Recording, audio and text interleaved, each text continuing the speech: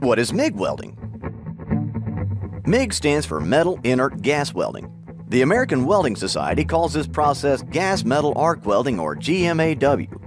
You might also hear it called wire welding. In MIG welding, a thin wire acts as the electrode. This wire is fed from a spool mounted on a gun or inside the welding machine through a flexible tube and out of the nozzle on the welding gun or torch. The wire is fed continuously when the trigger on the welding gun is pulled. When this trigger is pulled, it also switches on the welding current and a shielding gas. An electric arc forms between this wire electrode and the workpiece and heats both metals above their melting point.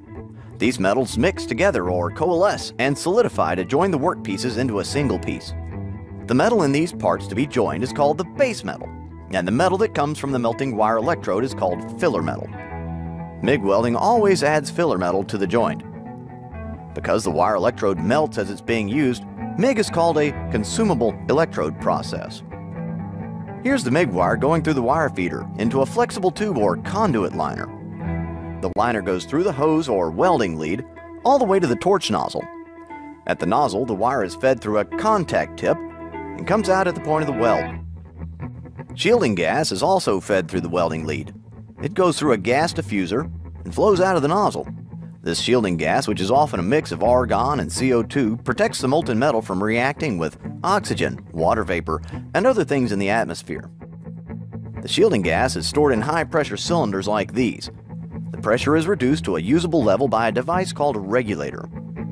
In MIG welding, all the machine controls are set on the machine itself. The most important of these are polarity, wire speed, and voltage. The trigger on the gun is just an on-off switch. For most MIG welding, the current is direct current or DC.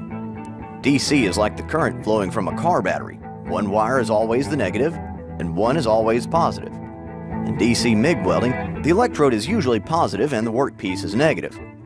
The term DCEP is used, indicating that the current is direct current and the electrode is positive. This is also called reverse polarity, but DCEP is a more descriptive term. In an electric circuit, the current flows in a loop.